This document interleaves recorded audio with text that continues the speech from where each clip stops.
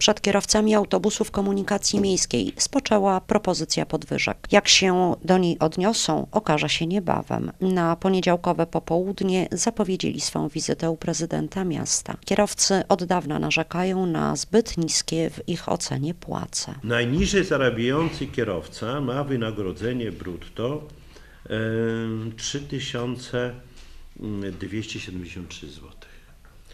E, W grupie kierowców do 3,5 tysiąca e, mamy 4 kierowców. Średnie wynagrodzenie w tej najniższej grupie to 3,412. Od 3,5 do 4 tysięcy jest 17 kierowców. Średnie wynagrodzenie w tej grupie 3708 zł. Od 4 tysięcy do 4,5 29 kierowców. Średnie wynagrodzenie w tej grupie 4209 i powyżej 4,5 jest 4 kierowców. Wynagrodzenie dla tej grupy 5064 zł.